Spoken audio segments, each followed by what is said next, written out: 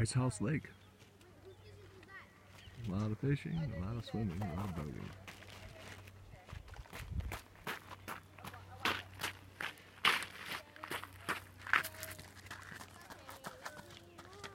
Used to come up here during the old days and uh, during winter and uh, get ice for uh, Tahoe, bars and storage. Pretty nice day today. Water is high. And it's hot and all get out here too. I think I'll come back during the evening go fishing.